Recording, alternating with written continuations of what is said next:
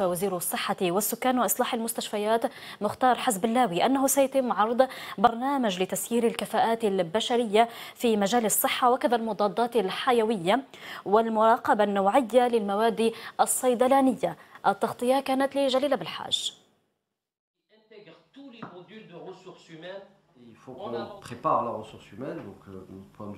euh. Nous allons également, au cours de cette réunion, présenter donc euh, un plan sur la gestion de la ressource humaine dans le domaine de la santé, mais également donc euh, l'accès des médicaments aux citoyens algériens ainsi qu'aux vaccins, des produits sanitaires, mais surtout donc comment que l'Algérie contrôle ses produits pharmaceutiques. Donc contrôle qualité, mais également, on parlera un peu de pharmacovigilance. J'espère que Madame Moetti sera ravie donc, de visiter euh, les trois centres de pharmacovigilance,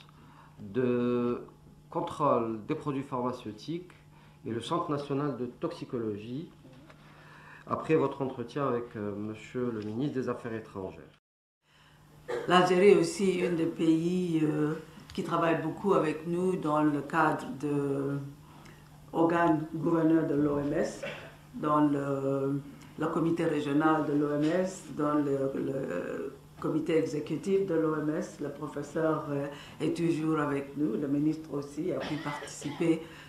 au comité régional euh, au Zimbabwe de, l'année passée. Donc ça veut dire que vous jouez votre rôle comme État membre de l'OMS pour guider les actions du secrétariat et partager avec, avec nous vos idées, vos directions qui nous permettent de travailler avec euh, les pays africains pour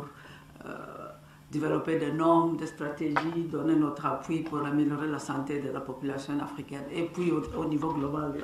la population du monde.